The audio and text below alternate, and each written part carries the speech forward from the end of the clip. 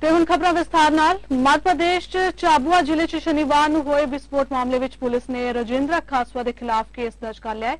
ਰਜਿੰਦਰ ਕਾਸਵ ਦੇ ਘਰ 'ਚ ਹੀ ਭਾਰੀ ਮਾਤਰਾ ਵਿੱਚ ਵਿਸਫੋਟਕ ਸਮੱਗਰੀ ਰੱਖੀ ਹੋਈ ਸੀ, ਜਿਸ ਦੇ ਕਾਰਨ ਇਹ ਧਮਾਕਾ ਹੋਇਆ। ਧਮਾਕੇ ਤੋਂ ਬਾਅਦ ਕਾਸਵਾ ਫਰਾਰ ਦੱਸਿਆ ਜਾ ਰਿਹਾ ਹੈ। ਪੁਲਿਸ ਵੱਲੋਂ ਉਸ ਦੇ ਗੋਦਾਮ ਅਤੇ ਘਰ ਨੂੰ ਸੀਲ ਕਰ ਦਿੱਤਾ ਗਿਆ ਹੈ। ਘਟਨਾ ਸਥਾਨ ਤੇ ਪੁੱਜੇ ਮੁੱਖ ਮੰਤਰੀ ਸ਼ਿਵਰਾਜ ਸਿੰਘ ਚੌਹਾਨ ਨੂੰ ਲੋਕਾਂ ਨੇ ਰਸਤੇ ਵਿੱਚ ਹੀ ਰੋਕ ਲਿਆ ਅਤੇ ਵਿਰੋਧ ਪ੍ਰਦਰਸ਼ਨ ਕਰਨਾ ਸ਼ੁਰੂ ਕਰ ਦਿੱਤਾ। ਪੁਲਿਸ ਨੇ ਭਰੋਸਾ ਦਿੱਤਾ ਹੈ ਕਿ ਕਾਸਵਾ ਨੂੰ ਛੇਤੀ ਹੀ ਗ੍ਰਿਫਤਾਰ ਕਰ ਲਿਆ ਜਾਏਗਾ। ਮੁੱਖ ਮੰਤਰੀ ਚੌਹਾਨ ਨੇ ਮੁਆਵਜ਼ਾ ਵਧਾ ਕੇ ਮ੍ਰਿਤਕਾਂ ਦੇ ਪਰਿਵਾਰਾਂ ਨੂੰ 10-10 ਲੱਖ ਰੁਪਏ ਅਤੇ ਜ਼ਖਮੀਆਂ ਨੂੰ 50-50 ਹਜ਼ਾਰ ਰੁਪਏ ਦੀ ਮਦਦ ਦਾ ਐਲਾਨ ਕੀਤਾ ਹੈ। ਕਾਂਗਰਸ ਨੇ ਵਿਸਫੋਟ ਦੇ ਵਿਰੋਧ ਵਿੱਚ ਚਾਬੂਆ ਬੰਦ ਰੱਖਣ ਦਾ ਐਲਾਨ ਕੀਤਾ ਹੈ।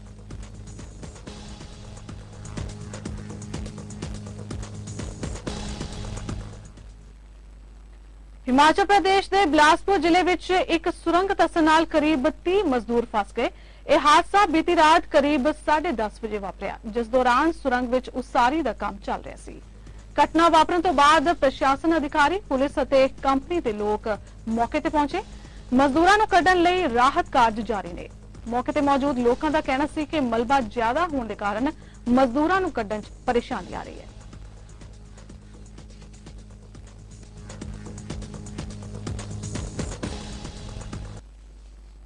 ਰੁਕਾਲੇ ਨੇ ਹੁਣ ਪੰਜਾਬ ਵੱਲ। ਲੁਧਿਆਣਾ ਵਿੱਚ 2012 ਵਿੱਚ ਡੀਐਸਪੀ ਬਲਰਾਜ ਗਿੱਲ ਤੇ ਉਸ ਦੀ ਮਹਿਲਾ ਦੋਸਤ ਦੇ ਦੋਹਰੇ ਕਤਲकांड ਮਾਮਲੇ ਵਿੱਚ ਫੈਸਲਾ ਸੁਣਾਉਂਦਿਆਂ ਲੁਧਿਆਣਾ ਦੀ ਐਡੀਸ਼ਨਲ ਅਦਾਲਤ ਨੇ 6 ਦੋਸ਼ੀਆਂ ਚੋਂ ਤਿੰਨ ਨੂੰ ਦੋਹਰੀ ਉਮਰ ਕੈਦ ਸਮੇਤ 1-1 ਲੱਖ ਰੁਪਏ ਜੁਰਮਾਨਾ ਦੇਣ ਦੀ ਸਜ਼ਾ ਸੁਣਾਈ ਹੈ। ਬਾਕੀ ਦੇ ਤਿੰਨ ਦੋਸ਼ੀਆਂ ਨੂੰ 7-7 ਸਾਲ ਦੀ ਸਜ਼ਾ ਸੁਣਾਈ ਗਈ ਹੈ। ਜ਼ਿਕਰ ਖਾਸ ਹੈ ਕਿ ਲੁਧਿਆਣਾ ਦੇ ਹੜਬੜਾ ਇਲਾਕੇ ਵਿੱਚ ਸਥਿਤ ਇੱਕ ਨਿੱਜੀ ਫਾਰਮ ਹਾਊਸ 'ਚ 1 ਫਰਵਰੀ 2012 ਨੂੰ ਇਸ ਦੋਹਰੇ ਕਤਲकांड ਨੂੰ ਅੰਜਾਮ ਦਿੱਤਾ ਗਿਆ ਸੀ। ਜਿਸ ਵਿੱਚ ਪੰਜਾਬ ਪੁਲਿਸ ਦੇ ਡੀਐਸਪੀ ਅਤੇ ਉਸ ਦੀ ਦੋਸਤ ਦੇ ਕਤਲ ਕੇਸ ਦੇ ਸੰਬੰਧ ਵਿੱਚ ਪੰਜਾਬ ਪੁਲਿਸ ਨੇ 6 ਦੋਸ਼ੀਆਂ ਨੂੰ ਗ੍ਰਿਫਤਾਰ ਕੀਤਾ ਸੀ।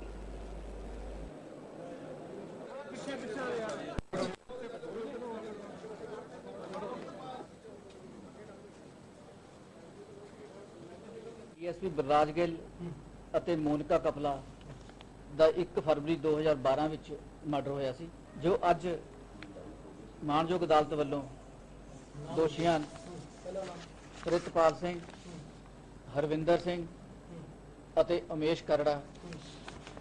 ਇਹਨਾਂ ਤਿੰਨਾਂ ਦੋਸ਼ੀਆਂ ਨੂੰ ਸਜ਼ਾਏ ਉਮਰ ਕੈਦ ਤੇ 1 ਲੱਖ ਰੁਪਏ ਜੁਰਮਾਨਾ ਵੀ ਕੀਤਾ ਅੰਮ੍ਰਿਤਸਰ ਸੀਆਈਏ ਸਟਾਫ ਨੇ ਇੱਕ ਵੱਡੇ ਗਿਰੋਹ ਨੂੰ ਫੜਨ ਵਿੱਚ ਸਫਲਤਾ ਹਾਸਲ ਕੀਤੀ ਹੈ, ਜਿਸ ਵਿੱਚ ਇੱਕ ਮੌਜੂਦਾ ਸਰਪੰਚ ਅਤੇ ਦੋ ਸਗੇ ਭਰਾਵਾਂ ਸਮੇਤ ਪੰਜ ਲੋਕ ਸ਼ਾਮਿਲ ਨੇ। ਇਹ ਗਿਰੋਹ ਅੰਮ੍ਰਿਤਸਰ ਅਤੇ ਇਸ ਦੇ ਆਸ-ਪਾਸ ਘਟਨਾਵਾਂ ਨੂੰ ਅੰਜਾਮ ਦਿੰਦਾ ਸੀ। ਗਿਰੋਹ ਵਿੱਚ ਦੋ ਸਗੇ ਭਰਾ ਵੀ ਸ਼ਾਮਿਲ ਨੇ। ਇਹ ਪਹਿਲਾਂ ਹੀ ਲੁੱਟਖੋ ਦੀਆਂ ਕਈ ਘਟਨਾਵਾਂ ਨੂੰ ਅੰਜਾਮ ਦੇ ਚੁੱਕੇ ਨੇ ਅਤੇ ਇਹਨਾਂ ਤੇ ਕਈ ਅਪਰਾਧਿਕ ਮਾਮਲੇ ਦਰਜ ਨੇ। ਦਰਅਸਲ ਇਹ ਗਿਰੋਹ ਸ਼ਹਿਰ ਦੇ ਵਿੱਚੋਂ ਵਾਹਨ ਚੋਰੀ ਕਰਕੇ ਸਰਪੰਚ ਅਮਰਜੀਤ ਸਿੰਘ ਨੂੰ ਕਾਫੀ ਘੱਟ ਮੁੱਲ ਤੇ ਵੇਚ ਦਿੰਦੇ ਸਨ ਅਤੇ ਅਮਰਜੀਤ ਸਿੰਘ ਇਹਨਾਂ ਵਹੀਕਲਾਂ ਤੇ ਨਕਲੀ ਕਾਗਜ਼ਾਤ ਬਣਾ ਕੇ ਬਾਜ਼ਾਰ ਵਿੱਚ ਵੇਚ ਦਿੰਦਾ ਸੀ ਅਤੇ ਜਿਨ੍ਹਾਂ ਵਾਹਨਾਂ ਦੀ ਹਾਲਤ ਕੁਝ ਖਸਤਾ ਹੁੰਦੀ ਸੀ ਉਸ ਨੂੰ ਕਬਾੜ ਵਿੱਚ ਵੇਚ ਦਿੱਤਾ ਜਾਂਦਾ ਸੀ। ਸੀਏ ਸਟਾਫ ਨੇ ਸੂਰੇ ਅਧਾਰ ਤੇ ਨਾਕਾ ਲਗਾਇਆ ਹੋਇਆ ਸੀ। ਜਦੋਂ ਨਾਕਾ ਲਗਾ ਕੇ ਇਹਨਾਂ ਨੂੰ ਕਾਰ ਸਮੇਤ ਗ੍ਰਿਫਤਾਰ ਕੀਤਾ ਗਿਆ ਤਾਂ ਪਤਾ ਲੱਗਾ ਕਿ ਇਹ ਕਾਰ ਵੀ ਖੋ ਕੇ ਵੇਚਣ ਜਾ ਰਹੇ ਸਨ। ਤੇ ਜਦੋਂ ਸਖਤੀ ਨਾਲ ਇਹਨਾਂ ਤੋਂ ਪੁੱਛ- ਪੁੱਛਗਿੱਛ ਕੀਤੀ ਗਈ ਤਾਂ ਇਸ ਗਿਰੋਹ ਦੇ ਕੋਲੋਂ ਦੋ ਕਾਰਾਂ 6 ਮੋਟਰਸਾਈਕਲ ਇੱਕ ਟੈਂਪੂ ਅਤੇ 600 ਨਸ਼ੀਲੀਆਂ ਗੋਲੀਆਂ ਬਰਾਮਦ ਹੋਈਆਂ ਨੇ। ਇਹਨਾਂ ਨੂੰ ਪੇਸ਼ ਕਰਨੇ ਗਾ ਫਰਦਰ ਅੱਗੇ ਪੁੱਛਗਿੱਛ ਕਰਦੇ ਆ ਵੀ ਹੋਰ ਵੀ ਗੱਲ ਸਾਹਮਣੇ ਆ ਜਾਵੇ। ਕਰਨਾਲ ਯਮਨਾਨਗਰ ਰੋਡ ਤੇ ਸਥਿਤ ਪਿੰਡ ਦਰਦ ਦੇ ਕੋਲ ਸਵੇਰੇ ਬੀਤੇ ਦਿਨੀ 10 ਵਜੇ ਦੇ ਕਰੀਬ ਇੱਕ ਟਰੱਕ ਅਤੇ ਟ੍ਰੇਰਾ ਕਾਰ ਦੀ ਟੱਕਰ ਕਾਰਨ ਦਰਦਨਾਕ ਹਾਦਸਾ ਵਾਪਰ ਗਿਆ। ਇਸ ਹਾਦਸੇ ਵਿੱਚ ਇੱਕ ਹੀ ਪਰਿਵਾਰ ਦੇ 5 ਜੀਆਂ ਦੀ ਮੌਤ ਹੋ ਗਈ ਅਤੇ 7 ਲੋਕ ਗੰਭੀਰ ਹਾਲਤ 'ਚ ਹਸਪਤਾਲ 'ਚ ਰੈਫਰ ਕੀਤੇ ਗਏ। ਟਾਇਰ ਫਟਣ ਕਾਰਨ ਟਰੱਕ ਦਾ ਸੰਤੁਲਨ ਵਿਗੜ ਗਿਆ।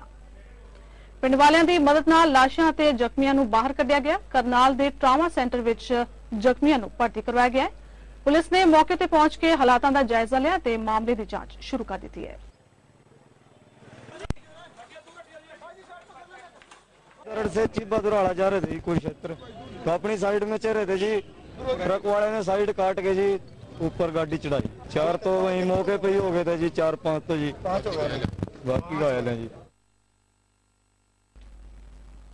ਆਮ ਆਦਮੀ ਪਾਰਟੀ ਦੀ ਪੰਜਾਬ ਜੋੜੋ ਮੁਹਿੰਮ ਦੇ ਸਿਲਸਿਲੇ 'ਚ ਆਪ ਦੇ ਪੰਜਾਬ ਕਨਵੀਨਰ ਸੁੱਚਾ ਸਿੰਘ ਛੋਟੇਪੁਰ ਸਾਦਿਕ ਵਿੱਚ ਆਏ ਜਿੱਥੇ ਉਹਨਾਂ ਪੰਜਾਬ ਦੀ ਸੱਤਾਧਾਰੀ ਪਾਰਟੀ ਤੇ ਕਾਂਗਰਸ ਨੂੰ ਪੰਜਾਬ 2017 ਦੇ ਮਿਸ਼ਨ ਵਿੱਚ ਪਛੜਿਆ ਹੋਇਆ ਦੱਸਦਿਆਂ ਕਿਹਾ ਕਿ ਸਰਕਾਰ ਆਡੀਓ ਟੇਪਾਂ ਦੀ ਰਾਜਨੀਤੀ ਰਾਹੀਂ ਪਾਰਟੀ ਦੇ ਜਥੇਬੰਦਕ ਢਾਂਚੇ ਨੂੰ ਨੁਕਸਾਨ ਪਹੁੰਚਾਉਣ ਦੇ ਯਤਨ ਕਰ ਰਹੀ ਹੈ।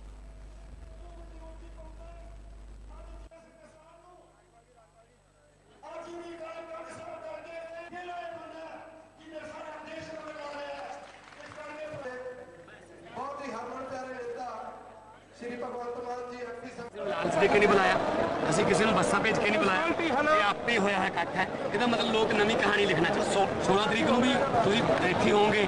ਤੁਸੀਂ ਦੇਖ ਲਿਓ 16 ਤਰੀਕ ਨੂੰ ਗੱਡੀਆਂ ਸਾਰੇ ਪੰਜਾਬ ਤੋਂ ਆਈਆਂ ਨੇ ਤੇ ਅੱਜ ਸਾਰੇ ਆਪਣੇ ਆਪਣੇ ਸਾਧਨਾਂ ਤੇ ਆਏ ਇਸ ਲਈ ਇਲਾਕੇ ਦਾ ਓਰੀਜਨਲ ਇਕੱਠ ਹੈ। ਇੱਥੋਂ ਇਹ ਸਿੱਧ ਹੁੰਦਾ ਕਿ ਲੋਕ ਨਵੀਂ ਕਹਾਣੀ ਲਿਖਣ ਨੂੰ ਤਿਆਰ ਵੱਧਦੇ ਅਗਲੀ ਖਬਰ ਵੱਲ। ਪੰਜਾਬ ਦੀ ਸਭ ਤੋਂ ਵੱਡੀ ਕੈਮੀਕਲ ਲੈਬੋਰੇਟਰੀ ਖਰੜ ਵਿਖੇ ਬਣਾਈ ਜਾ ਰਹੀ ਹੈ। ਇਹ ਲੈਬ 20 ਕਰੋੜ ਦੀ ਲਾਗਤ ਨਾਲ ਤਿਆਰ ਕੀਤੀ ਜਾ ਰਹੀ ਹੈ। ਜਿਸ ਦੇ ਚੱਲ ਰਹੇ ਕੰਮ ਦਾ ਜਾਇਜ਼ਾ ਲੈਣ ਦੇ ਆਈਐਸ ਵਿਨੀ ਮਹਾਜਨ ਖਰੜ ਵਿਖੇ ਪਹੁੰਚੇ ਪੱਤਰਕਾਰਾਂ ਨਾਲ ਗੱਲਬਾਤ ਕਰਦਿਆਂ ਉਹਨਾਂ ਨੇ ਕਿਹਾ ਕਿ 5 ਮੰਜ਼ਲਾ ਇਹ ਇਮਾਰਤ 31 ਦਸੰਬਰ ਤੱਕ ਮੁਕੰਮਲ ਹੋ ਜਾਏਗੀ ਅਤੇ ਮਾਰਚ ਵਿੱਚ ਇਸ ਲੈਬ ਵਿੱਚ ਕੰਮਕਾਜ ਸ਼ੁਰੂ ਹੋਣ ਦੀ ਸੰਭਾਵਨਾ ਹੈ। ਇਸ ਲੈਬ ਵਿੱਚ ਫੂਡ, ਡਰੱਗ, ਕੈਮੀਕਲ ਦੀ ਜਾਂਚ ਕਰਕੇ ਰਿਪੋਰਟਾਂ ਤਿਆਰ ਕੀਤੀਆਂ ਜਾਣਗੀਆਂ।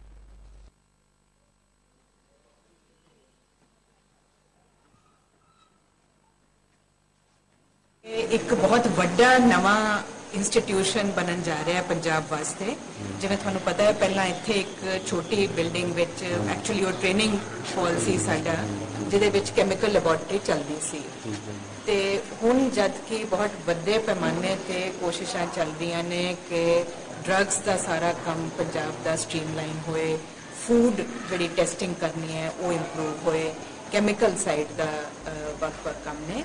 ਸੋ ਇੱਕ ਕੰਬਾਈਨਡ ਲੈਬੋਰੇਟਰੀ ਪਹਿਲੀ ਵਾਰੀ ਪੰਜਾਬ ਦੇ ਵਿੱਚ ਇਸ ਪੱਧਰ ਤੇ ਬਣ ਰਹੀ ਹੈ। ਅਪਰਾਧਕ ਕਿਸਮ ਦੇ ਲੋਕ ਮਾਨਵੀ ਰਿਸ਼ਤੇ ਦੀ ਪਰਵਾਹ ਨਹੀਂ ਕਰਦੇ। ਕੁਝ ਅਜਿਹਾ ਹੀ ਮਾਮਲਾ ਸਾਹਮਣੇ ਆਇਆ ਕਪੂਰਥਲਾ ਦੇ ਪਿੰਡ ਮਾਛੀ ਜੋਆ ਵਿੱਚ ਜਿੱਥੇ ਇੱਕ ਭਰਾ ਨੇ ਹੀ ਆਪਣੇ ਸਗੇ ਵੱਡੇ ਭਰਾ ਨੂੰ ਘਰ ਵਿੱਚ ਘਰੇਲੂ ਝਗੜੇ ਤੇ ਚੱਲਦਿਆਂ ਕੁਝ ਲੋਕਾਂ ਨੂੰ ਸੁਪਾਰੀ ਦੇ ਕੇ ਮਰਵਾ ਦਿੱਤਾ। ਕਰੀਬ 35 ਸਾਲਾ ਨੌਜਵਾਨ ਕੁਲਦੀਪ ਸਿੰਘ ਦੀ 9 ਸਤੰਬਰ ਨੂੰ ਖੂਨ ਨਾਲ ਲਤਪਤ ਲਵਾਰਿਸ ਹਾਲਤ ਵਿੱਚ ਲਾਸ਼ ਮਿਲੀ ਸੀ। ਪੁਲਿਸ ਨੇ ਛੇਤੀ ਹੀ ਇਸ ਅੰਨੇ ਕਤਲ ਦੀ ਜਾਂਚ ਸ਼ੁਰੂ ਕੀਤੀ ਤਾਂ ਜਾਂਚ ਪੜਤਾਲ ਵਿੱਚ ਜੋ ਪੂਰਾ ਮਾਮਲੇ ਸਾਹਮਣੇ ਆਇਆ, ਉਹ ਚੁਕਾਉਣ ਵਾਲਾ ਸੀ। ਕੁਲਦੀਪ ਦੀ ਮੌਤ ਦੇ ਪਿੱਛੇ ਮੁੱਖ ਆਰੋਪੀ ਉਸ ਦਾ ਹੀ ਛੋਟਾ ਭਰਾ ਅੰਗਰੇਜ਼ ਸਿੰਘ ਨਿਕਲਿਆ ਤੇ ਉਸਨੇ ਹੀ ਆਪਣੇ ਵੱਡੇ ਭਰਾ ਕੁਲਦੀਪ ਦੀ ਇੱਕ ਸੁਪਾਰੀ ਦੇ ਕੇ ਉਸ ਨੂੰ ਮਰਵਾ ਦਿੱਤਾ ਸੀ। 9 ਸਤੰਬਰ ਨੂੰ ਤੇਜ਼ਧਾਰ ਹਥਿਆਰਾਂ ਨਾਲ ਕੁਲਦੀਪ ਦਾ ਕਤਲ ਕਰ ਦਿੱਤਾ ਗਿਆ ਤੇ ਜਦੋਂ ਆਪਣੇ ਖੇਤਾਂ ਵਿੱਚ ਕੰਮ ਕਰ ਰਿਹਾ ਸੀ ਪੁਲਿਸ ਨੇ ਕੁਲਦੀਪ ਦੇ ਭਰਾ ਅੰਗਰੇਜ਼ ਸਮੇਤ ਕੁੱਲ 6 ਲੋਕਾਂ ਉੱਤੇ ਹੱਤਿਆ ਤੇ ਹੋਰ ਤਰ੍ਹਾਂ ਤਹਿਤ ਮਾਮਲਾ ਦਰਜ ਕਰ ਉਹਨਾਂ ਵਿੱਚੋਂ ਕੁਲਦੀਪ ਦੇ ਭਰਾ ਤੇ ਸੁਪਾਰੀ ਕਿਲਿੰਗ ਦੇ ਦੋ ਮੈਂਬਰਾਂ ਸਮੇਤ ਕੁੱਲ 3 ਲੋਕਾਂ ਨੂੰ ਗ੍ਰਿਫਤਾਰ ਕਰ ਲਿਆ। ਇਸ ਕਤਲ ਕਰਨ ਫਿਰ ਜਦੋਂ ਇਹਨੂੰ ਡੁੰਗਾਈ ਨਾ ਸੀ ਕੀਤੀ ਤੇ ਇਹ ਸਾਰੀ ਗੱਲ ਜਿਹੜੀ ਸਾਹਮਣੇ ਆਈ ਚ ਅਸੀਂ ਤਿੰਨ ਬੰਦੇ, ਅੰਗਰੇਜ਼ ਸਿੰਘ, ਬਗੀਚਾ ਸਿੰਘ ਤੇ ਜਸਵੰਤ ਸਿੰਘ, ਤਿੰਨ ਅਰੈਸਟ ਕਰ ਲਿਆ ਸੀ ਮੌਕੇ ਤੇ।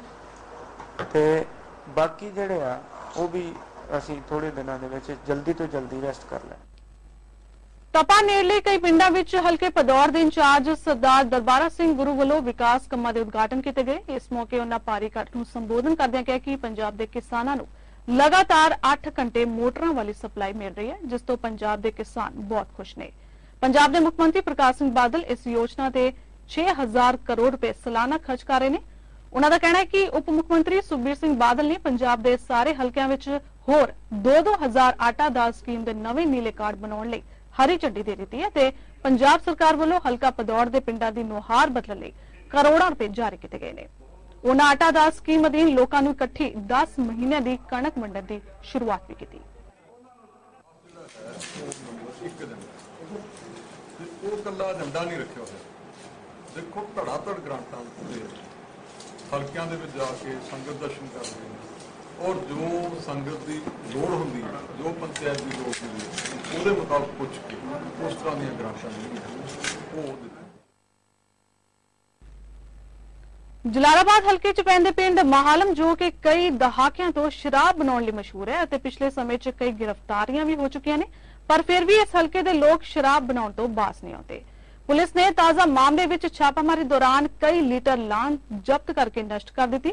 ਨਗਰ ਨਿਵਾਸੀਆਂ ਨੇ ਮੰਗ ਕਰਦੇ ਕਿਹਾ ਕਿ ਅਜਿਹੀ ਗੰਦੀ ਸ਼ਰਾਬ ਪੀਣ ਨਾਲ ਲੋਕਾਂ ਦੀ ਸਿਹਤ ਨਾਲ ਖਿਲਵਾੜ ਹੋ ਰਿਹਾ ਹੈ।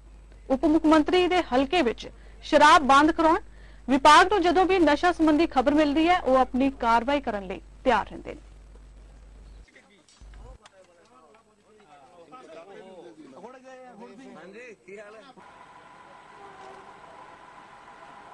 ਹਜ਼ਾਰਾਂ ਲੀਟਰ ਦੇ ਕਰੀਬ ਲਹਾਨ ਨਜਾਇਜ਼ ਲਾਨ ਬਰਾਮਦ ਕੀਤੀ ਗਈ ਔਰ ਇਹਦੇ ਨਾਲ ਨਾਲ ਇਲਿਸਿਟ ਲਿਕਵਰ ਵੀ ਜਿਹੜੀ ਉੱਥੇ ਬਰਾਮਦ ਕੀਤੀ ਗਈ। ਮਹਿਕਮੇ ਨੂੰ ਜਦੋਂ ਜਦੋਂ ਵੀ ਖਬਰ ਮਿਲਦੀ, ਮਹਿਕਮਾ ਆਪਣੀ ਕਾਰਵਾਈ ਕਰਦਾ।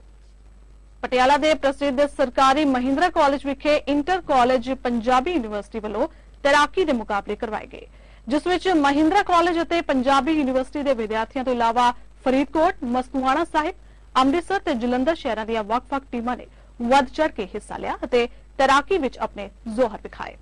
ਇਸ ਦੌਰਾਨ ਮਹਿੰਦਰਾ ਕਾਲਜ ਦੇ ਵਿਦਿਆਰਥੀਆਂ ਸਾਹਿਲ ਚੋਪੜਾ, ਜੋ ਕਿ ਤੈਰਾਕੀ ਦੇ ਇੰਟਰਨੈਸ਼ਨਲ ਖਿਡਾਰੀ ਨੇ, ਉਹਨਾਂ ਨੇ ਹਿੱਸਾ ਲਿਆ ਤੇ ਆਪਣੀ ਕਲਾ ਦਾ ਪ੍ਰਦਰਸ਼ਨ ਕੀਤਾ ਜੇਤੂ ਖਿਡਾਰੀਆਂ ਨੂੰ ਇਨਾਮ ਵੀ ਤਕਸੀਮ ਕੀਤੇ ਗਏ।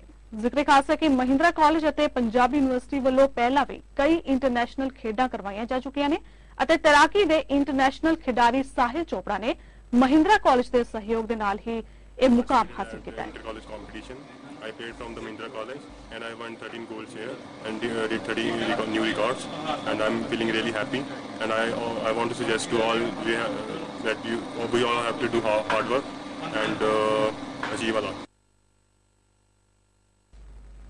फ़िलहाल इस बुलेटिन च इन्ना ही अगले बुलेटिन च फिर हाजिर होवांगे कुछ होर खास खबरों के नाल तद तक लेते हो इजाज़त धन्यवाद